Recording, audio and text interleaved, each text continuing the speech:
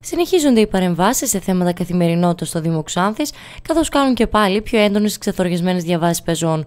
Από νωρίς το πρωί της Τρίτης, τα συνεργεία του Δήμου Ξάνθης βγήκαν στους δρόμους ώστε να φρεσκάρουν τι διαγραμμίσεις των διαβάσεων των πεζών που είναι σε προτεραιότητα.